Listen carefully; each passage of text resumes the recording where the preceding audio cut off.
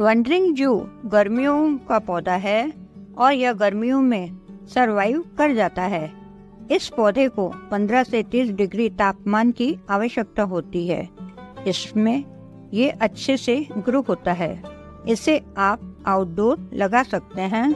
उत्तर भारत में तापमान 30 के ऊपर जाने पर इसे आप इसे ऐसी जगह रखने का प्रयास करें जहाँ सुबह की तीन चार घंटे की इसे धूप मिल जाए।